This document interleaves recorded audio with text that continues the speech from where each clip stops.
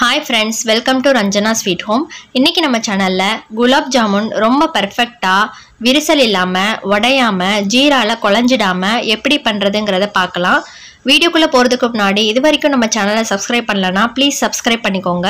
இப்போ வாங்க நம்ம வீடியோக்குள்ளே போகலாம் இப்போ நம்ம குலாப் ஜாமுன் எப்படி பண்ணலான்னு பார்க்கலாம். நான் ஊர்லேருந்து எம்டிஆர் பிராண்டு வாங்கிட்டு வந்தேன்.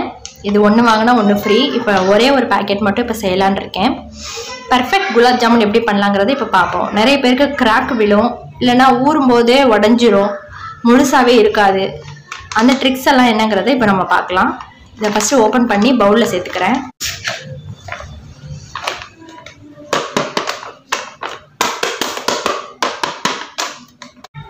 இது ஒரு பேக்கெட் மாவு இருக்குது கொஞ்சம் கொஞ்சமாக தண்ணி சேர்த்து ரொம்ப இறுக்கமாகவும் இல்லாமல் ரொம்ப லூஸாகவும் இல்லாமல் மீடியமாக பரட்டிக்கோங்க.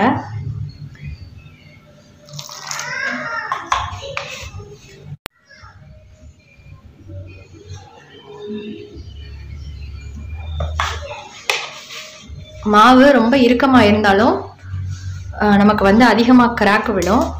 பால்ஸ் உருட்டும் போது அதனால கொஞ்சம் நெகிழ்த்தியாகவே வச்சுக்கோங்க.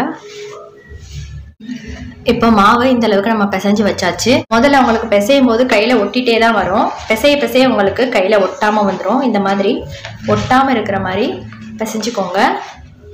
பிசைஞ்சிட்டு இது அப்படியே ஒரு ஃபைவ் மினிட்ஸ் மூடி வச்சிடலாம். ஃபைவ் மினிட்ஸ்க்கு அப்புறமா எடுத்து நம்ம உருண்டை எப்படி பண்ணலாங்கிறத பார்ப்போம்.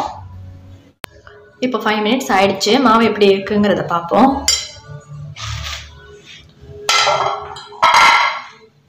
மாவு ஊட்டி இருக்கு பாருங்க கையில் ஒட்டலை. இந்த அளவுக்கு இருக்கணும் நமக்கு. இப்போ நம்ம கையில் கொஞ்சம் நல்லா எண்ணெய் தடவிக்கலாம். எண்ணெய் தடவிட்டு உங்களுக்கு எந்த சைஸில் வேணுமோ உருண்டை அந்த அளவுக்கு எடுத்து கிராக் இல்லாமல்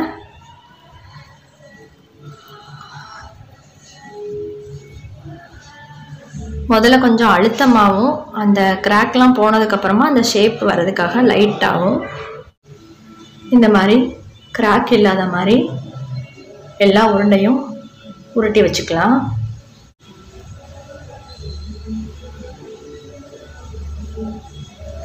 கையில் அப்பப்போ லைட் லைட்டாக எண்ணெயை தடவிக்கோங்க. தடவிட்டிங்கன்னா உங்களுக்கு கிராக் விழாது. அது மாதிரி மாவு நமக்கு இறுக்கமாக இல்லைனாலும் கிராக் விழாது.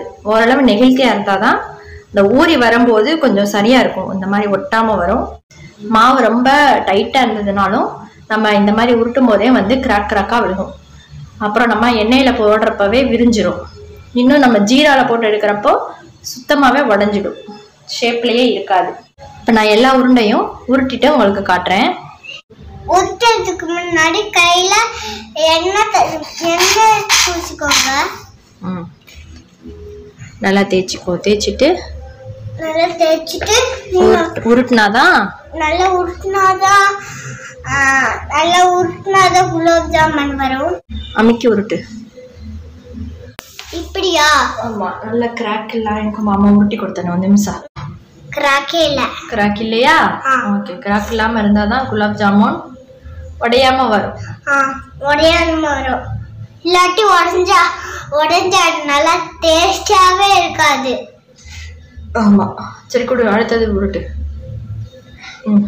ஐயா அழகா ஒரு ஒரு அழகான ஒரு ஸ்மைல் பண்ணிட்டீங்க. ம் சரி பை இதுக்கு ஒரு பொட்டு வச்சுட்டேன் அதே உருட்டிருக்கண்ணே. அம்மாவுக்கு ஹெல்ப் பண்ணிடு. இப்படிதான் நான் அமுக்கி உருட்டணும். ஆமாம் இப்படி. அப்பதான் கிராக் இல்லாமல் வரும்.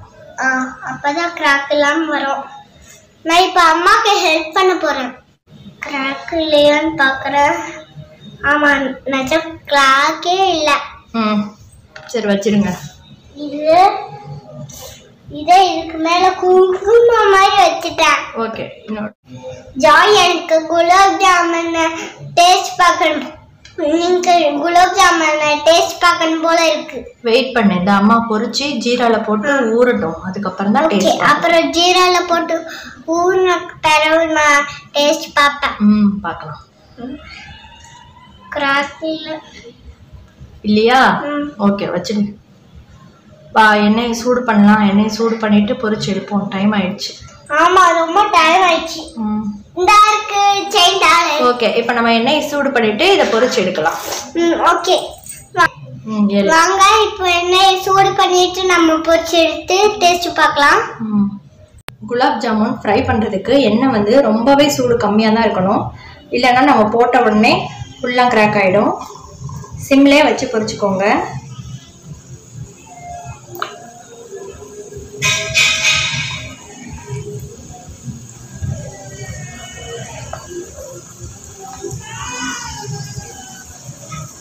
ஒரு போட்டு ஒரு ரெண்டு மூணு செகண்ட் ஆனதும் அது புஷ்ஷுன்னு ஆகும். கரண்டியை வச்சு இப்படி சுற்றி விட்டிங்கன்னா தான் எல்லா பக்கமும் ஒன்று போல் செவக்கும். இல்லைன்னா ஒரு சைடு ப்ரௌன் ப்ரௌனாகவும் ஒரு சைடு ஒயிட்டாகவும் இருக்கும். இந்த மாதிரி கரண்டியை வச்சு சுற்றி சுற்றி விடுங்க.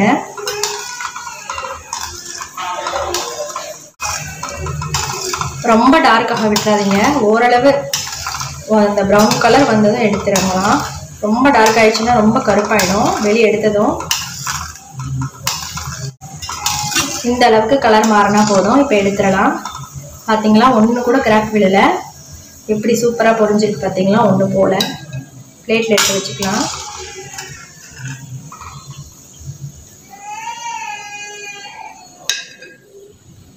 இந்த பால்ஸ் அப்படியே ஆறணும். ஆறுனதுக்கப்புறம் தான் நம்ம ஜீராவில் போடணும். ஓகே எல்லாத்தையும் நம்ம ஃப்ரை பண்ணிவிட்டு நம்ம பார்ப்போம்.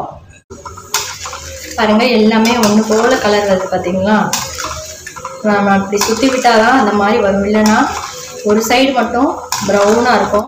குலாப் ஜாமுனுக்கு ஜீரா ரெடி பண்ணுறதுக்கு சம அளவு தண்ணி சம அளவு சுகர் எடுக்கணும். உங்களுக்கு எவ்வளோ ஜீரா வேணுமோ அதுக்கு தகுந்த மாதிரி நீங்கள் எடுத்துக்கோங்க. சில பேருக்கு ஜீரா ரொம்ப வேஸ்ட் ஆகுதுன்னு நினைக்கிறவங்க கொஞ்சம் கம்மியாகவே நீங்கள் சேர்த்துக்கலாம். அது ஊறுற அளவுக்கு மட்டும் நீங்கள் எடுத்துக்கலாம். நான் வந்து இன்றைக்கி ஒரு பேக்கெட்டுக்கு வந்து ஒரே ஒரு கிளாஸ் சுகரு ஒரு கிளாஸ் தண்ணி சேர்த்து நல்லா அதை கொதிக்க விடணும். ஜாமுனுக்கு ஜீரா ரெடி பண்ணும்போது அந்த பிசுபிசுப்பு பதம் வந்தால் நம்ம ஆஃப் பண்ணிடலாம். ரொம்ப பாக ஆயிடுச்சுன்னா குலாப் ஜாமுன் ஊறாது சரியா? நமக்கு குலாப் ஜாமுன் ஹார்டாகவே இருக்கும். நான் இன்னைக்கு ப்ரௌன் சுகர் போட்டதுனால ஜீரா வந்து ப்ரௌன் கலரில் இருக்குது நீங்கள் தேவைப்பட்டா எசன்ஸ் ஏதாவது சேர்த்துக்கலாம். இல்லைன்னா ஏலக்காய் பவுடர் ஏதாவது நீங்கள் சேர்த்துக்கலாம். எல்லா உருண்டையும் பொரிச்சு எடுத்தாச்சு. பாருங்க இதுல ஒண்ணு கூட நமக்கு விரிசல் விழாமல் எப்படி வந்திருக்குன்னு. இது அஞ்சு நிமிஷம் ஆறிடுச்சு. இப்போ நம்ம சீனி பாகில் போடலாம். பாகு காய்ச்சி ரெடியா இருக்கு. பாகு வந்து ரொம்ப சூடா இருக்கக்கூடாது. வெது வெதுன்னு இருக்கணும். பால்ஸும் அது மாதிரி வெது வெதுன்னு இருக்கணும். ரெண்டுமே ரொம்ப சூடா இருந்துச்சுன்னா ஜீரால வந்து வேகிற மாதிரி ஆயிடும் உருண்டை. அப்போ வந்து ரொம்ப கொல ஆயிரும்.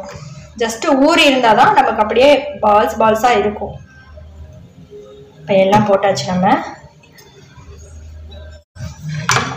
இதை ஒரு தடவை நல்லா மிக்ஸ் பண்ணி விட்டுறலாம்.